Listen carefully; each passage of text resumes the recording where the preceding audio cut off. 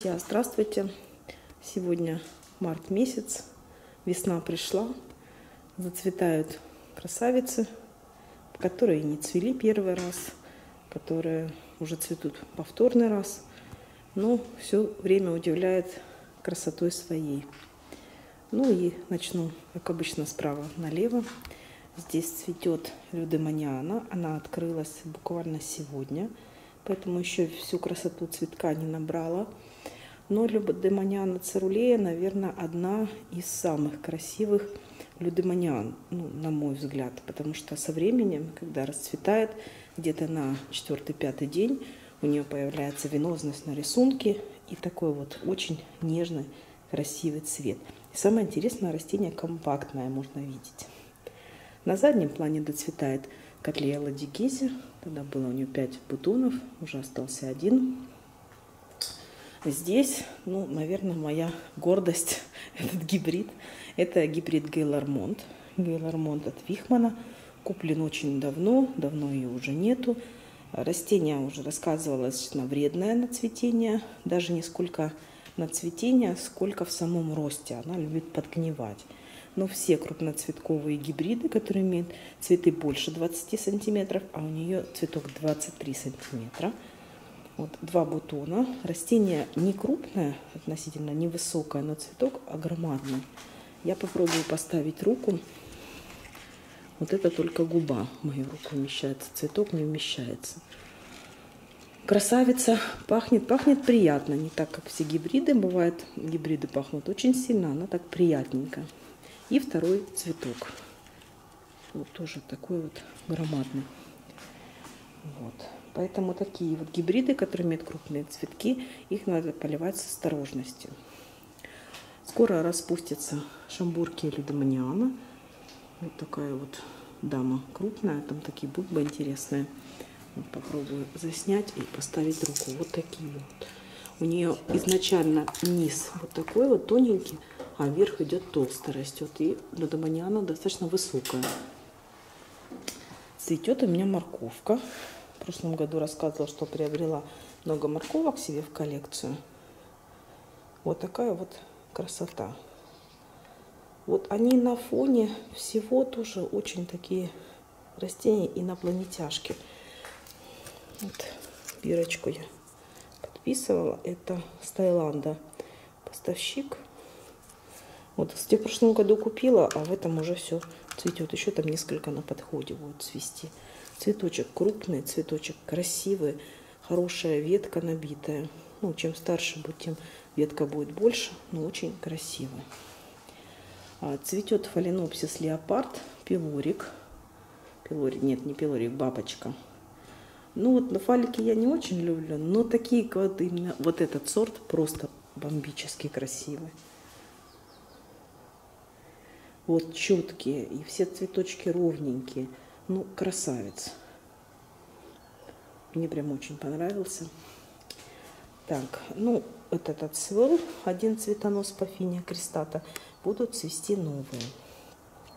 Цветет котлея зефир. Это уже второй у меня цветонос. Ну, она попадала уже много раз на видео. Красавица, ровненькая, цветочек, ну, наверное, сантиметров 15. Так вот, цветут вот такие вот симпатичные близняшки. Это вот э, растения с передержки у меня зацвели. Тоже купленные вот такой вот сорт. Ну, красивые же. Просто четенькие, ровненькие. Ну вот прям ровненько цветоносик выпустили, цветочки распустили. Подвязывать ничего не нужно. Представьте, когда куст будет.